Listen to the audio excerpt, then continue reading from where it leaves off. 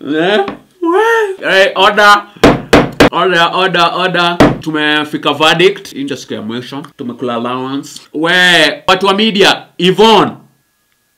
Na hii pande hii we we ndio ulinyimwa dp na daktari. Dp position. Tulia. Mlishaongea enough. We mtu wa pikipiki ponki na pdf mnyamaze hapo. Kabla tufanye verdict ground rules fulani hapa na pale. Daktari usilie. Na hii side ya baba mtulie. Msianze nini hapa? So verdict tuko na options mbili. Option ya kwanza ni huyu since alipata 50 plus 1 huyu afanye 3 years. Wewe utapatiwa chance ya kufanya 2 years. Tuleni eh, kama mtaki hiyo option ya pili ni tusiendelee na nyinyi. Tufanye wajakoya president na maore deputy president. Tuendelee na maisha. Haya kama kuna shida mwende mtweet. Haya sasa tumemaliza. We mtu wa pikipiki ponki. Haya tuimbishe tuanze kudance hapa